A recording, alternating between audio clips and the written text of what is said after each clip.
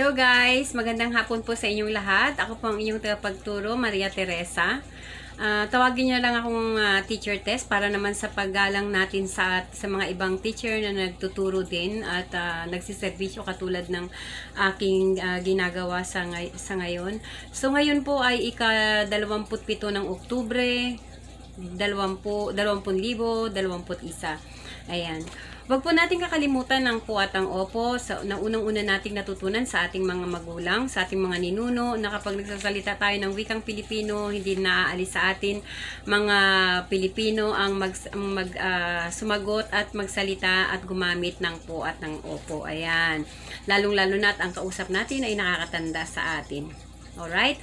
Ngayon po ay uh, October 20, uh, 27, 2021. Ayan. So, I am your teacher in Filipino, English, and Spanish language. My real name is Maria Teresa. For respect for someone who are teaching same like what I did, uh, what I'm doing and what I did, uh, call me Teacher Tess for respect to somebody else. Ayan. So, do not forget the ancestors we speak, uh, especially speak Filipino, uh, especially the person we are talking to is older than us. Ayan. Our day today is October uh, 27, 2021, Wednesday. So, today is uh, Today is Wednesday and uh, afternoon. Ayan, kagagaling lang natin sa trabaho from my office. Uh, come and let's study the other uh, grammar or the other theory because we can uh, we can tackle right now the numbers and we can tackle the theory in mathematics. Ayan, basic mathematics lang kung paano nila, how did they uh, how did they, they deliver, you know, in mathematics by numbers in in uh, in a Spanish word words. Ayan. So, in Espanyol, guys, uh, soy Maria Teresa, la maestra in English o profesora in Espanyol. Uh, Maria Teresa Fulgusino is uh, mi nombre real. Uh, Yamami, Yamami Maria, Mariate or uh, uh, por el bien de respetar arguelos uh, como yo que sirven como como maestros uh, como maestros nuestras antecepados cada hablamos especialmente filipino. La persona que somos hablando con es mayor. Que nosotros nuestra cita es el es el octubre 25 de 2021 ayan la, la día hoy y miércoles, la día uh, Mother of Perpetual Help. Ayan. Yo soy desde en mi oficina. Vamos, estudiamos la otra gramática de la palabra español. Ayan. Vamos a empezar. Hindi ka na maghanap buhay na tayo. So, ito guys ay English, pero let us transfer it into Spanish. Sabi niya rito, Erin has four uh, fish and Mary has two fish. How many fish in all? Ayan, how many fish? So, ayan, e Erin tienes cuatro pescado. Mary tienes dos pescado. ¿Cuántos pescado? A todos. So, seis pescado. Seis pescado. Bob uh, has two frog. David has three frog. How many frog is in all? So, Bob tienes dos laranya. David tienes tres laranya. How many is in all? ¿Cuántos uh, laranya a todo? So, uh, 2 plus 3 equals 6. Susie picked uh, 7 flowers.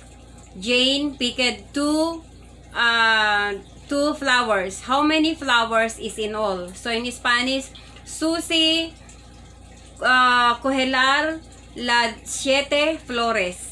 And Jane cogerá dos flores. ¿Cuántos flores uh, a todos? So 7 plus 2 equals 9. 7, 8, 9. Yeah, 9. So John, tienes 5 caro. Ed, tienes tres caros. ¿Cuántos caros a todo? So she said John has five uh, car and Ed has three cars. So how many cars is in all? So we have 5 plus 3 equals 8. Yan. 5 más 3, 8. Yan. Jenny has 3 uh, 3 oso, uh, bears. Joey has one bear. How many bears is in all? Not this this one is not beer, ha? Beer, beer San Miguel beer, no. This is oso. Ayan, oso. Oso rin 'di ba sa ano sa Filipino? So Jenny has three uh three bears. Joey has one bear. How many bears is in all? So Jenny tienes tres osos. Joey tienes una osos. ¿Cuántos osos tienes a todo? So, 3 plus 1 equals 4. Ayan. Si Jenny ay may tatlong oso. Si Joey ay mayroong isang oso. So, ilang osos mayroon ang lahat? Ang dalawang tao. 3 plus 1 equals 4. So, uh, tatlo, dagdagan mo ng isa equals 4. Ayan. So, John has 5 cars and Ed has 3 cars. So, ito ay uh, sa, sa Pilipino, John ay mayroong limang uh, sasakyan at si Ed ay may tatlong sasakyan. So, ilan lahat ang sasakyan? Uh, meron silang 5 plus 3 equals 8. Meron silang walong sasakyan. Susi, namitas ng pitong bulaklak. At si Jane, namitas rin ng dalawang bulaklak. Ilang bulaklak mayroon lahat? So, pito plus dalawa equals uh, 9. 9. Siyam.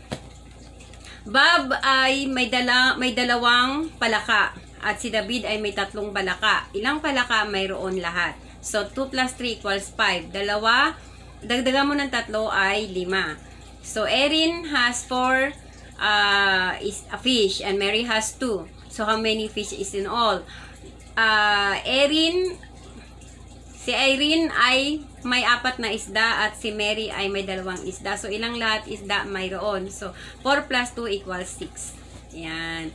Apat, dagdagan mo na dalawa, anim. So, ayan po yung nakasulat po yan sa, ano, sa English. Ita-transfer lang natin sa Spanish kasi yun ang dapat nating pag-aralan. So, Spanish. So, yan lang po muna. Tayo po magpapaalam na ulit at sa susunod na sa susunod na bilang, sa susunod na uli, yan po muna ang ating mga uh, salitang na pag-aralan ngayon. Paalam na po muna at sa muling pagkikita ang Diyos ay sumasa atin. Those are the words we have learned now. Goodbye and what we meet uh, uh, till we meet again. When we meet again, God will be with us all. So in Spanish, esas son las palabras que hemos aprendido ahora. Adiós y cuando nos volvamos a encontrar, Dios estará con todos nosotros. Ayan. Maraming maraming salamat po. Muchísimas gracias. Yung hindi pa po nakakapag-subscribe ng ating channel, eh, mag-subscribe na po kayo. Malapit-lapit na po tayong mag uh, mag-teaching, ano, live streaming, uh, mag-live streaming uh, teaching, talks, and vlogging. So, doon po tayo magkakaroon ng uh, raffle at saka mga papremyo. So, ang yung pong lingkod ay legit, hindi po tayo nagbibiruan dito. Magbibiruan tayo minsan para medyo tawa-tawa tayo, hindi lungkot-lungkot. Ayan. Muchísimas gracias a todo at wag na wag pong kakalimutan nating mga Pilipino kapag ang kausap po natin nakatatanda sa atin ang ating respeto sa kanila, paggalang, yan, yan yung mga traditional na ano natin, ang puwat ang upang biling sa atin ng ama't ima, ganun, di ba? So, bye-bye!